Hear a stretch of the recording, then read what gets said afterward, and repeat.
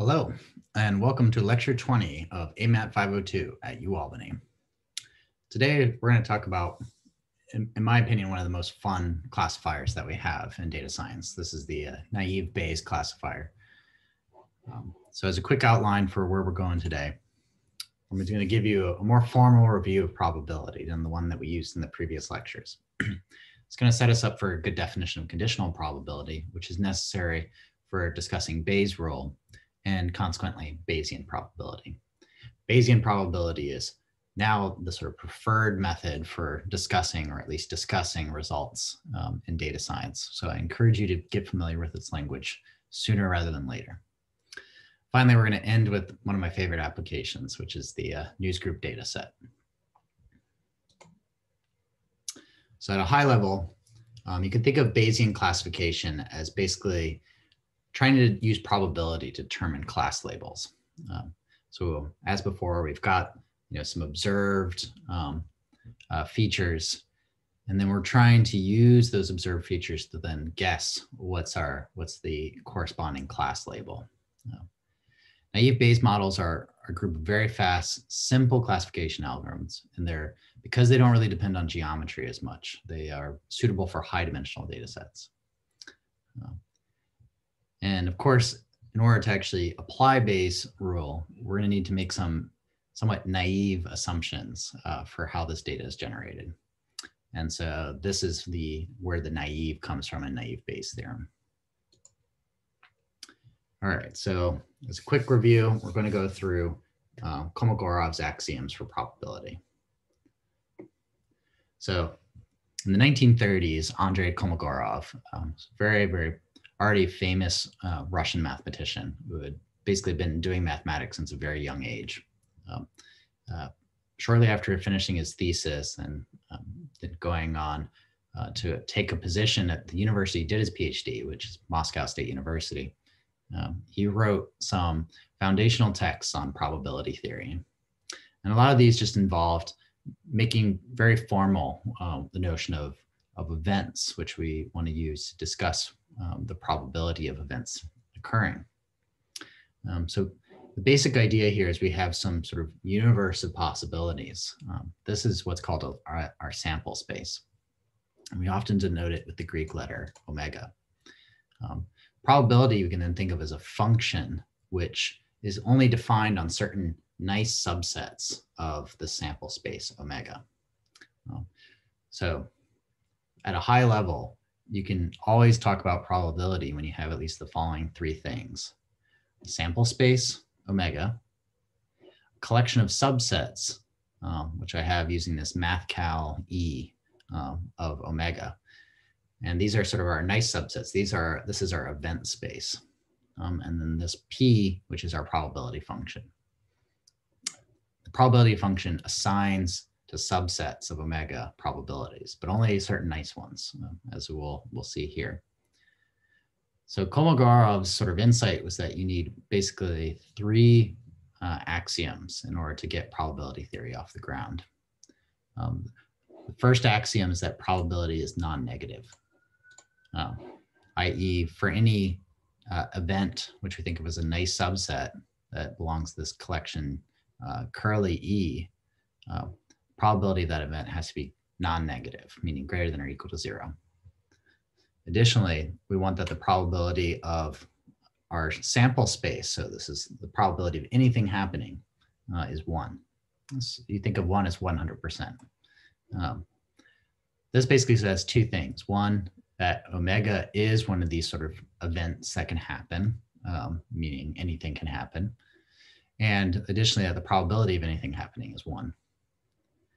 And then additionally, and this is sort of the more subtle one, which gets into issues of sort of analysis and why we need to be more formal with our discussions here, is that probability is additive for countable disjoint unions. Um, so what this says is that if I've got a collection of events, so again, these are our elements of our curly E collection, A1 through AN on ad infinitum, and I have the additional property that these events are all disjoint. So meaning whenever I look at two subsets that have different indices, i not equal to j, then those subsets of omega are disjoint, meaning their intersection is empty. That's indicated by this empty set symbol here. So under those two assumptions, we have this countability and this disjointness. Then I can write that the probability of the union of these events um, is equal to the sum of these probabilities. All right, so, and in particular, uh, this value is well defined. So, so, you know, it's not always true that you can sum up a bunch of numbers less than one and get a number that's less than one. Um, so this is really uh, telling you something about the, the convergence of this, of this series. Um, but you know, the big picture you want to have here is that we've got this event space, which is our universe, omega, um, and we can talk about events being subsets A and B, and we're now going to perform basic operations on these subsets. Now, uh, just to connect with, again, some higher mathematics that's um, pertinent to some of the uh, analysis that's necessary when doing functional analysis, some of the things that underlie a lot of techniques from machine learning. Um, you, know, you should think of probability as, as an instance of a measure space, but where we have this extra normalization property. Um, this is sometimes goes under the heading that says that our collection of subsets of omega uh, uh, curly E is what's called a sigma algebra. So sigma algebra um, is basically a collection of subsets where omega is part of the, that collection. It's closed under complements, meaning that if A is in your collection, then the complement of A is in your collection. Remember, the complement is just everything that's not that's in omega but not in A. So in particular, it's defined relative to the universe that it belongs in. And then we also have this uh, closed countable unions condition. So the definition of a sigma algebra is necessary for talking about uh, defining what is a measure space. And a measure space historically was our attempt to formalize how can we define volume um, in situations that you know we don't have a lot of geometry and could be really large infinite dimensional spaces. Um, of course, volume came to us in sort of simple situations like cubes and things like that. Um, but then calculus allowed us to to basically define volume for you know things we can't even see like we talked about with the curse of dimensionality these five dimensional spheres and things like that um, um, and again calculus is then properly built on the foundation of measure theory anyhow um, one thing you should just always know is if you have this notion of sort of a measure um, um, which I just indicate with these vertical bars, um, that's telling you essentially volume um, then we can turn this into a probability measure just by sort of normalizing. Um, so here I've used this sort of shorthand that the probability of A is equal to the measure of A divided by the measure of the universe. Similarly with B. All right, so I know I've already thrown a lot of pretty highfalutin terms at you, and you're not really going to need a lot of these um, now, but I'm doing this as a service so that uh, hopefully when you read more math, uh, related to machine learning and data science, um, it feels a little more accessible to you. Um, so the term sigma algebra, which we just used uh, when talking about a measure space, uh, is essentially a stronger version of what's called a Boolean algebra. Um, Boolean algebra is again something you should should at least have passing familiarity with. But let's step back for a second. So let's think about well, what is an algebra? Well, we know what we talk about usually when we discuss algebra um, we think about things like multiplication and addition. Um, so you might ask, is there a precise analogy to be made here? Um, and, and maybe there is. So uh, I'll just I'll just encourage you so to think about the first two requirements of a Boolean algebra is that you have this and or, and or operation. Um, so and essentially says something like, if I have A and B, I want to think of that as uh, the intersection of these two subsets. This is the event where both A and B occur. Um, uh, in some probability texts, you actually see them write this as A times B. So in that sense, this AND operation, you can almost think of as a multiplication operation. Um, additionally, we need to have this OR operation, uh, which basically says if I have two elements of my, my collection of subsets, um, I can talk about their or uh, or union. And this is basically the event where either A or B occurs. This is the setting where there's probably a close analogy to be made with addition because you're adding to A the possibility of B occurring. And then additionally, we have uh, not. Um, so the not operation uh, is essentially the one that uh, looks at the complement of an event. Um, and again, luckily Kolmogorov's axioms um, imply for us that uh, not only do we have a Boolean algebra of events, um, uh, we also have this additional requirement of uh, infinite unions or countable unions. Anyhow, you want to think of Boolean algebra is sort of being encoded in these uh, various rules of probability, which is that you know, probability of A and B, you can think of it as the measure of A and B divided by the measure of the universe. And you can always go from the probability of an event to the probability of the event not occurring, which is one minus that probability. So I've tried to summarize all this in a picture here for you.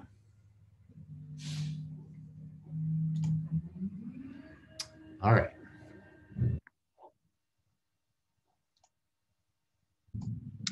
Sorry about that. So now if we, we want to put all this together to define conditional probability, we now have a little more formal language we can use. So conditional probability basically takes the perspective that um, we're going to condition on a certain event B occurring. Um, so in some sense, you want to think of this as restricting your discourse of probability um, to be in a smaller universe um, where essentially you've already assumed that B occurs. Right, so said a little more formally, um, if we're if we're moving from this probability space omega, or omega consists of our uh, space of all possible events. Um, uh, or I should say, it's sort of the collection of points where outcomes lie, and then curly e, which be, is our space of all possible events. And p is the probability of any one of those events occurring. It's a function from e into real line. Um, then we can pass to another probability space where we look at subsets drawn from B, which is simply done by taking every element of our curly set E and intersecting with B. And then um, we'll now talk about this restricted function, um, probability function by B conditioned, P conditioned on B. And we can now use this definition that probability of A conditioned on B um, well, what we do is we first intersect A with B and then look at the probability of that event. This numerator is well defined. And then we also use the fact that the denominator is well defined as well. So in particular, we need to assume that B is actually a possible event as well, meaning that B is part of E. All right. So sort of bringing things down uh, to the most basic level, you can see think of the sort of probability of B occurring given that A has by, by just sort of flipping some of these things around. So, so notice that we have this sort of symmetry in the fact that A and B is the same thing as B and A. So in particular, I can define uh, the conditional probability of B occurring, assuming A occurs using this equation. Notice the denominator is now P of A rather than P of B as it was back here. So notice P of A and B divided by P of B versus P of A and B divided by P of A. So you sort of have, you have a different thing you condition on. Um, alternatively, you can think of this as the probability of B occurring given A times probability of A is the probability of both of them occurring, probability of A and B. All this sort of necessary for framing one of the most important rules in probability, which is Bayes rule. So famous that it's in fact been encoded in neon signs and parodied on the internet as Bayes' theorem, uh, which you might enjoy looking up.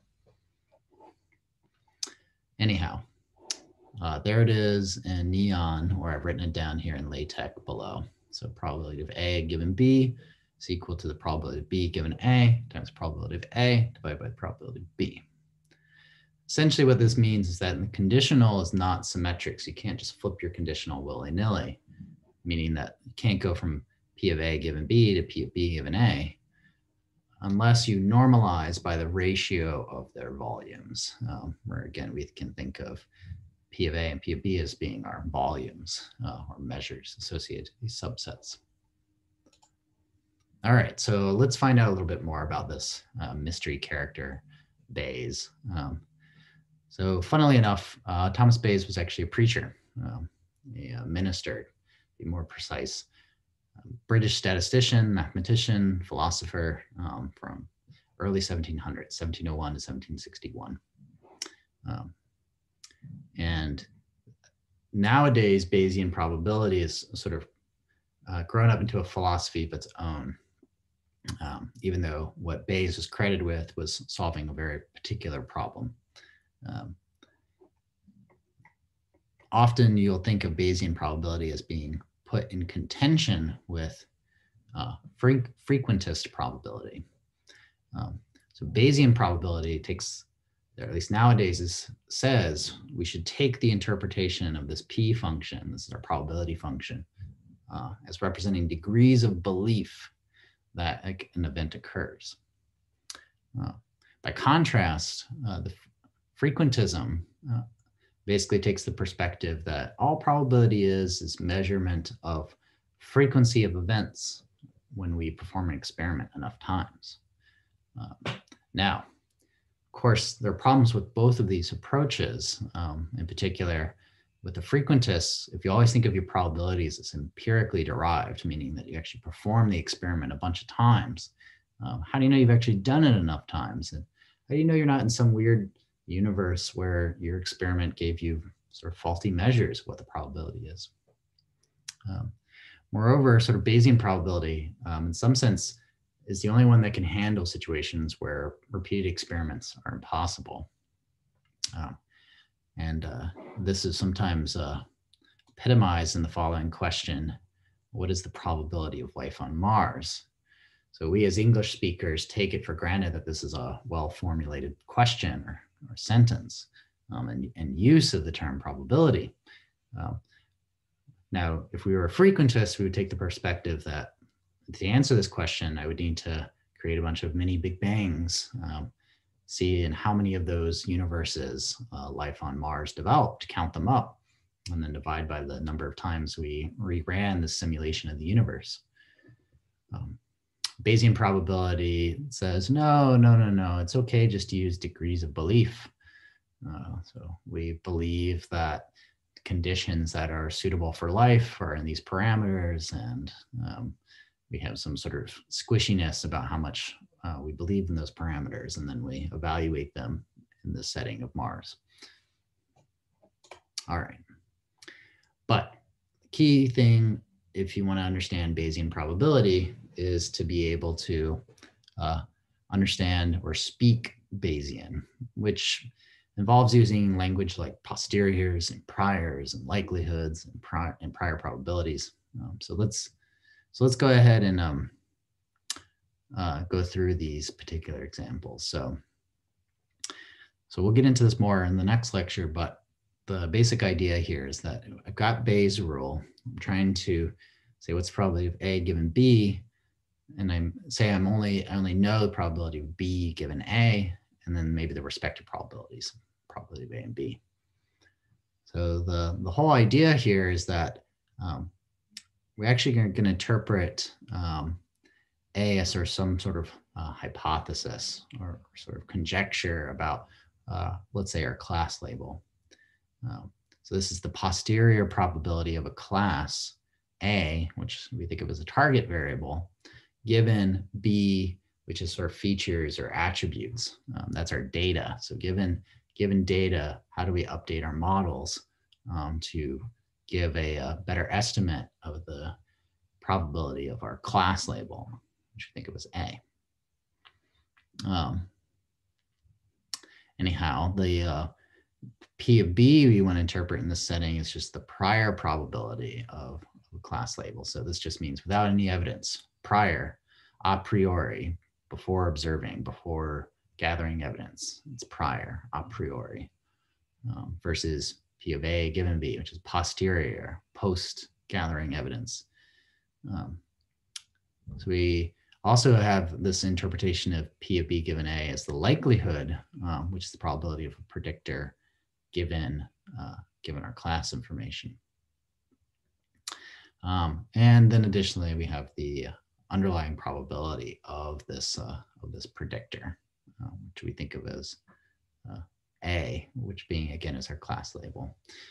So let's get into a little more uh, detail about what are each of these things. And uh, I'll encourage you to uh, seek out these 1805 lecture notes um, where we sort of rewrite A and B, which we think of as events, elements of this sigma algebra of, of sets, um, and instead take much more squishy interpretations uh, where we think of A as some sort of hypothesis and D as data.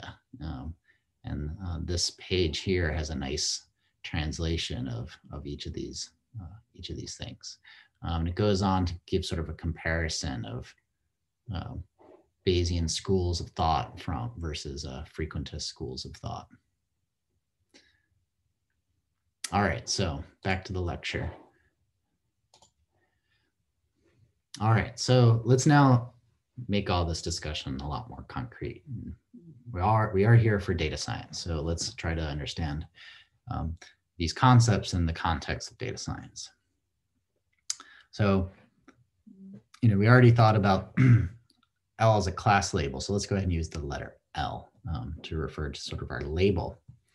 Uh, and so we're basically asking what's the probability of a label given some observed features.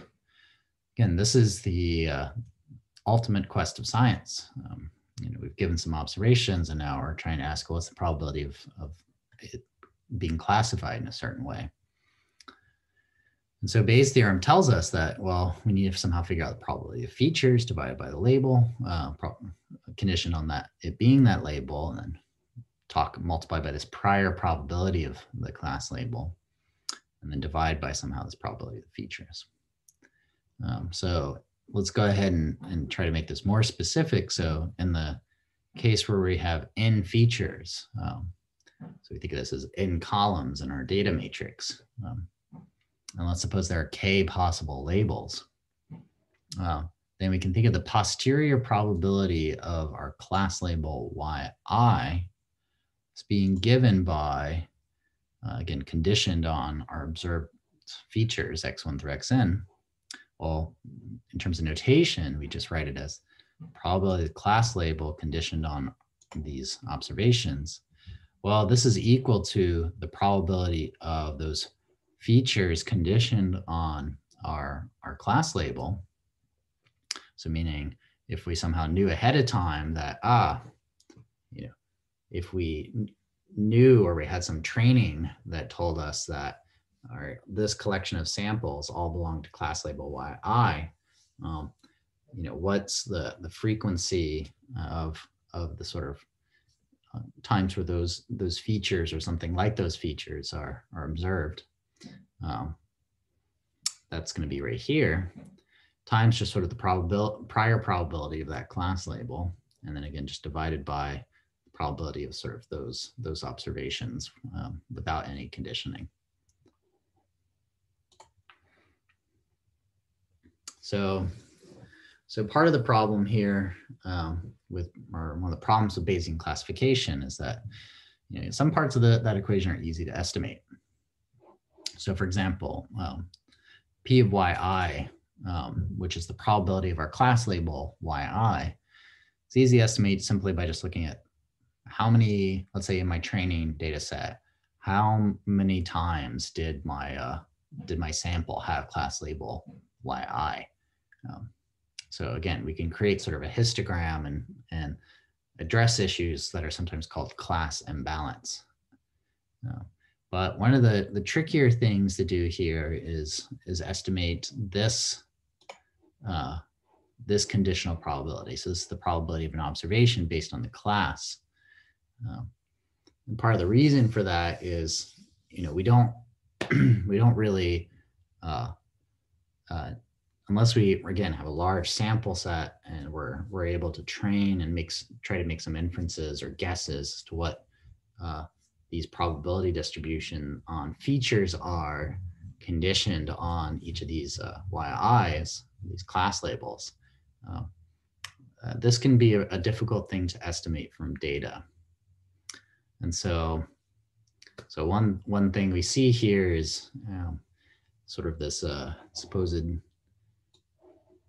uh, death sentence for for direct application of Bayes' theorem because uh, we we have no way of figuring out how to how to actually compute this.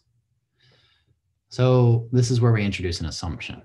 Um, this is again the naive Bayes assumption. So we can circumvent that problem by essentially assuming uh, independence of features um, across each of those coordinates. So, so essentially what we can do is then and just figure out, all right, let's assume the following. So the data input values, so these features are independent, um, and we're actually gonna, they should say conditionally independent uh, based on the class label. And then we can uh, use this data to estimate the parameters of of a, a, single probability distribution. So we, we also need to sort of guess or uh, pick out ahead of time what is the, uh, the distribution that we, we think is going to govern, um, govern our classification task. All right, so let's, let's go ahead and do that.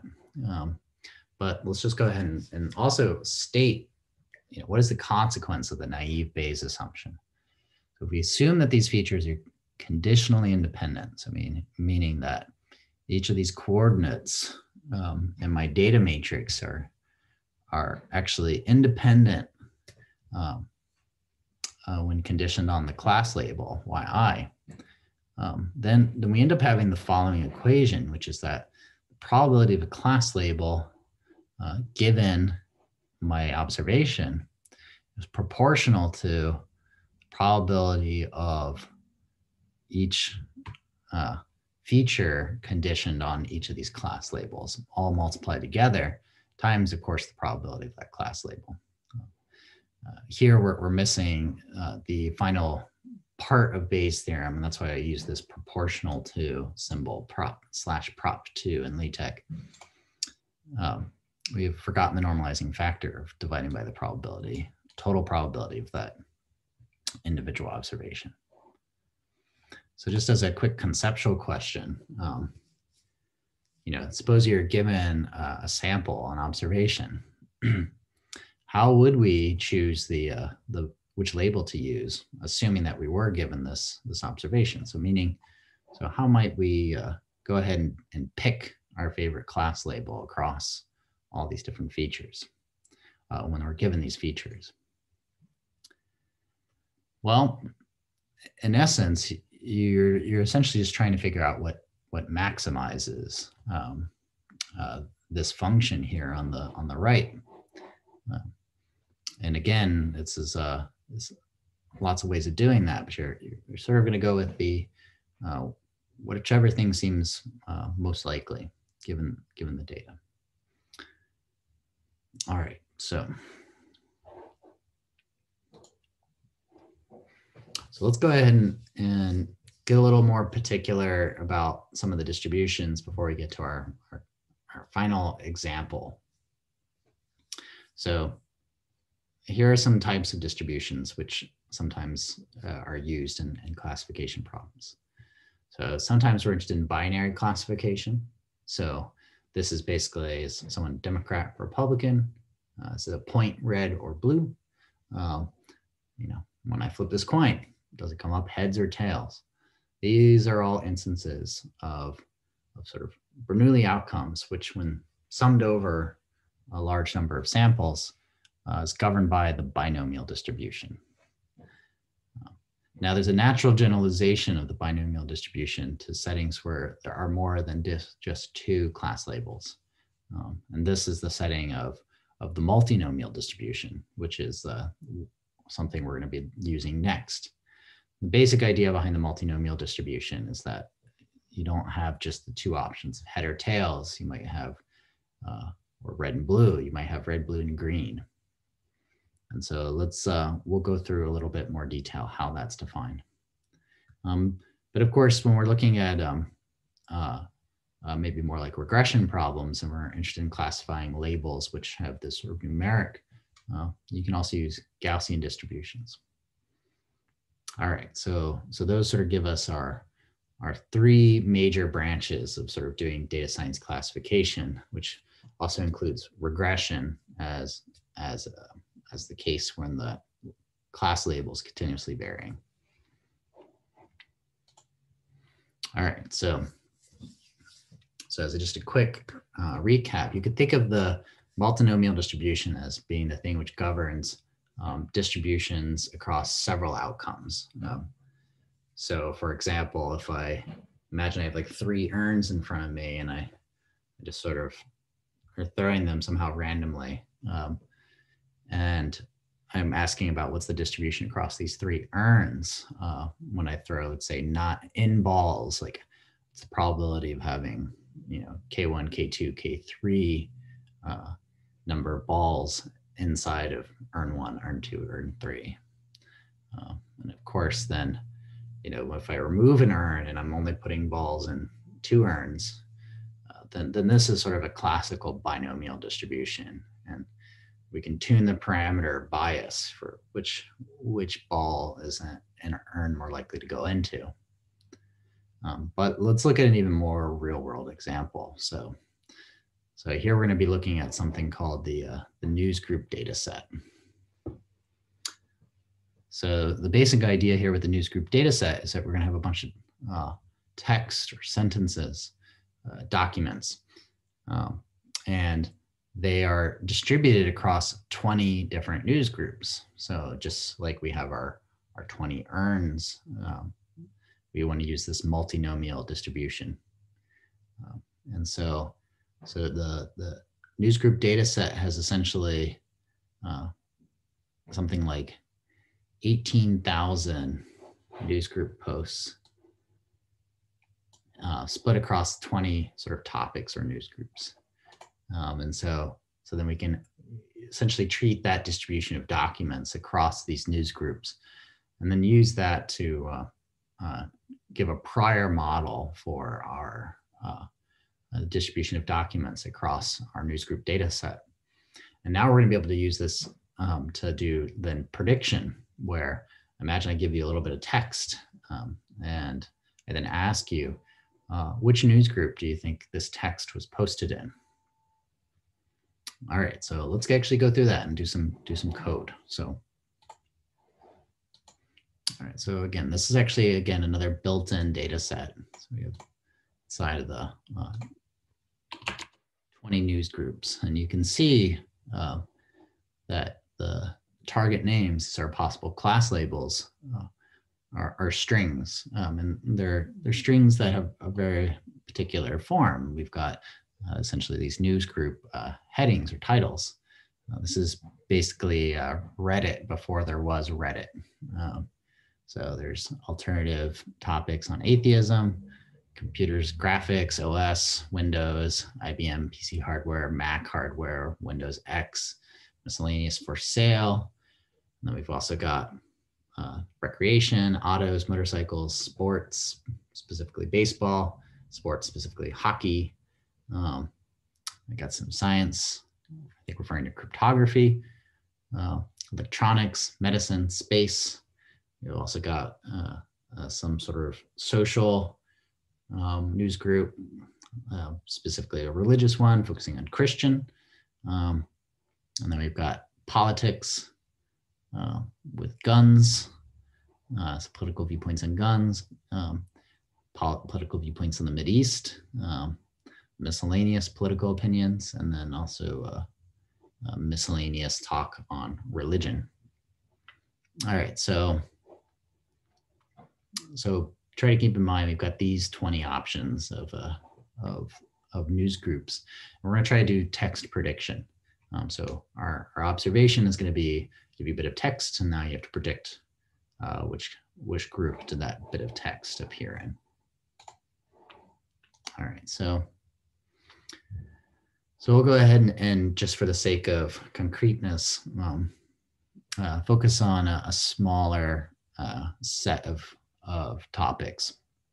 And so um, we'll just look at the following four groups. So talk.religion, um, talk, and then social, religion, Christian, science, talking about space and computer graphics. Um, and that's going to be, uh, those are going to be the, the four categories where we're sort of, um, in some sense, restricting our, our problem now to just those four news groups instead of all 20. Um, and so, so we're going to go ahead and, and make our training data set to be the training portion of text from just those four groups, four categories. And we're also going to have our test uh, data set, which is going to have um, consists of the test portion from again those just those four categories. Make sure we got that in there. All right, so let's just look at say uh, some of the. So again, we want to follow the data science pipeline. So let's check out the data. Um, so let's see what happens if I uh, look at eight. Oh, wow. Was not expecting this. Um, so Dan at ingress.com wrote in response to Christian extremist kills doctor. Um, and then he goes on to say something, uh, blah, blah, blah. Seriously, though, Griffin didn't save the lives of children. He did destroy life of man. So on superficial levels, he's scum. And then, all right. So, so again, long, again, you can imagine how this uh, was basically long form Reddit or Twitter back in the day. Um, maybe there's something nicer here. Uh, train donut. If there were no hell. Okay. Nuclear waste. Um, okay, so feel free to explore this data set um, and in particular look at the training data set. And, and again, these are just indexing the rows. Um, and we've got this huge string, which is basically an email uh, associated to, to each of, in each of these rows. All right, so one of the biggest tasks in data science um, involves sort of featureization. So right now we've got this sample this row in this training data set, which is this huge document. Um, uh, I mean, at least huge by Twitter comparisons. Um, and what we need to do is now figure out how do we vectorize, how do we featureize this data? Uh, so again, this data is just, just uh, an email. And so what we want to do is convert it into a vector of numbers, convert the string into a vector of numbers. So one approach to do this um, sometimes called TF-IDF, which is term frequency, uh, inverse document frequency. So, so basically the idea here is that we, you know, maybe get rid of really common words because we don't expect that to, to help distinguish documents words like a and the, um, what, you know, things like this. And now take uh, take words which are sort of less frequent, but somehow have strong distinguishing power. Um, you know, things like you know, Christian or religion, etc. So, you know, obviously those would be the things which help pick out topics in each of those categories. Um, uh, essentially, the way that this works is we want to um, weigh the word, weigh how much this uh, this word count um, by in terms of how often they appear in documents. So, so this essentially means that often rare words are going to be more of interest um, in, in, the grand scheme of things. All right, but uh, but again, I leave it to you to look up and read a little bit more about how TF-IDF works. Um, for our purposes, we're just going to use the um, the built-in pipeline. Um, uh, so so again, uh, scikit-learn has this pipeline functionality, um, and it's got both uh, a multinomial naive Bayes, which is going to be the sort of classifier we use, and then uh, we need to do some featureization first. So we have to uh, vectorize, and we're going to use this TF-IDF uh, in order to vectorize this. So our pipeline, our model, is that we're going to first take our samples, we're going to vectorize these emails, these Usenet these uh, newsgroup posts using this TF-IDF um, feature generator. And then we're going to perform our, our multinomial uh, naive Bayes classifier on this, on this data. All right, so again, it's relatively quick. All right, and so now we do our same train uh, model predict. And so in this step, we actually fit our, our model, just like we do with pretty much every scikit-learn uh, model to our training data along with its training target. So remember the data here consists of the emails uh, and then the target consists of uh, one of those four, in general, 20 news groups. And then we're going to take our test data and then try to predict uh, what, what happens here. So, so let's see uh, what this looks like. And again, one of the ways to evaluate performance of your of your classification algorithms is to consider what's called the confusion matrix. I run that here. Um, you'll see that there's there is a fair bit of confusion. Um, I, I, believe this is actually our accuracy here, um, but let's let's inspect this a little bit uh, more deeply. So, so for these computer graphics posts, um, that's the true label. Um, if we were to sum all the entries here, it looks like 344 plus 13 makes 357, makes plus 32, um, makes 389. Uh, so 344 out of 389 of those posts got correctly predicted um, with some misclassification errors, which landed in um, science.space. And uh, weirdly enough, um, this society, religion, Christian. So maybe that makes sense. Um, um, but I'm a little hard pressed to figure out why uh, computer graphics posts would get more misclassified there. Okay, so then uh, science.space. Uh, again, mostly actually one of our more accurate categories. Um, actually, society, religion, Christian um, is predicted almost 100% accuracy. Uh, uh, talk.religion.miscellaneous had a high rate of misclassification. So you can see this red here is indicating there was a lot of errors. Um, errors, again, are things that are off the diagonal. so basically a lot of talk.religion.mis posts got classified as uh, society.religion.christian. Um, all right, so that, that's sort of interesting. You might ask yourself, well, how, how can we uh, uh, maybe do better? Well, let's uh, let's have a little more fun. So, so let's go ahead and, and try to run through. Uh, let's just generate our own string, um, and then using that string, uh, that's going to be our new test data. So, so text is one of these instances where um, we don't need to be so um, uh, scarce or, or, frugal, I should say, with our with our our, our data, um, because it's easy to collect more text. Um, and in particular, we can generate our own text in this example. So how does this work? So we have this function, predict category, which takes in uh, a string, and then it, sets these default parameters to be our training data set and our model. And so, so we've already created our instance of this model, which consists of this pipeline of TF-IDF vectorization, and then it goes through the uh, multinomial naive Bayes classifier. All right, so, and then you can see the way this works is, you know, we take in our model and then we predict using S, and that's gonna pass through this pipeline of vectorize using TF-IDF, and then do multinomial naive Bayes. Uh, and that's gonna return a predicted label. And then um, now we just look at uh, train.target names, and then we look at uh, this predict, and we look in the zeroth entry. So it's gonna give us just one one returned uh, value, and and then it's gonna then tell us what the name name is of that.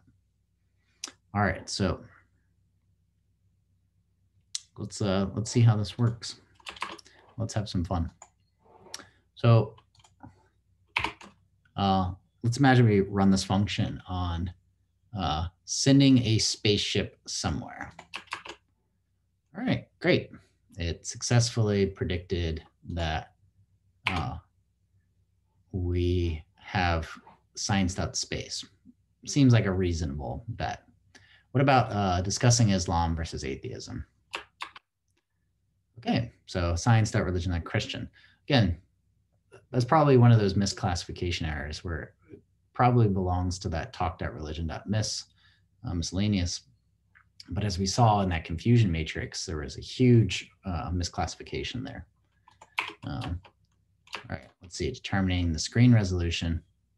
Yeah, that seems like a computer graphics uh, thing to say. And what about uh, Beyonce is one of the lizard people? So probably conspiracy mumbo jumbo, um, probably more of a talked out religion not miss thing. But um, again, since there was a high misclassification, uh, it makes sense that this uh, this got predicted as being in our uh, Christian news group. All right, so that's it for today. Um, but as a quick recap, um, if you want to use naive Bayes, it's really good when you've got well separated categories, um, such as these news group uh, labels. Um, and we can make sort of naive assumptions that ideally match uh, our expectations of the data. Um, uh, for very well separated categories when the model complexity is less important. And additionally, um, uh, because we're using probability and not so much uh, the sort of, and, and often doing this in terms of things proportional to samples, not, not proportional to say feature dimension. Um, this means that naive Bayes works really well in a uh, high dimensional setting. So when our, our vectorization um, is, is very high dimensional. Um, and some of these things were, uh, were borrowed from some other places. Um, so I leave it to you to uh, refer to some of those links. So I look forward to seeing you in class where we can uh, have some more fun with the naive Bayes classifier. Uh, see you soon.